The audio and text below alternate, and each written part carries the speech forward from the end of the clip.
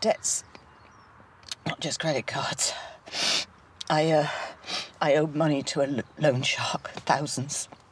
And I, I was so scared of him. I don't believe you.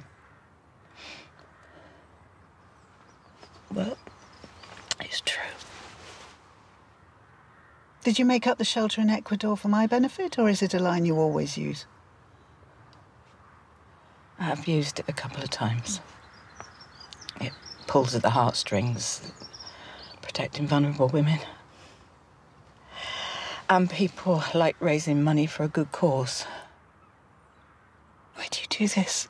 Why do you destroy people's lives? You could just get a job. I have expensive taste. I've been doing it for 15 years. I like the lifestyle. I, get a thrill from it. Ah. You're heartless. Don't say that. Look, I had a normal job once, but I lost it when my girlfriend chucked me out of her house and I was homeless, desperate, and. I met a woman. She looked after me. Paid for everything. That's how it started. She was the first. Yeah, but I felt guilty. I always feel guilty. Why did you pick me? Because you're a stylish woman. and you look like you were rich. And when you found out that I wasn't, why didn't you just walk away? I couldn't. I liked you too much. So much more than all the others. You felt like the one.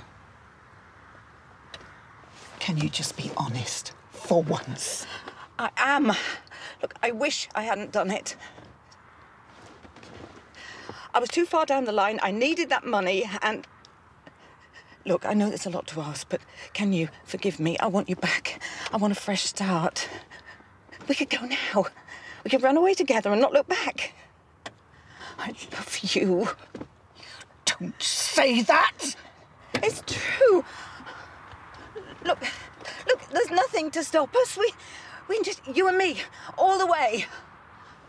Mary, what, what are you doing? I'm not going anywhere with you. Mary, please. Just how gullible do you think I am? You don't want me. You want me to drop the charges, and that is never gonna happen. Well, what a shame you're being like this. I had hoped we could sort it out pleasantly. But you left me no choice. You might like to check that. I think you'll see things differently.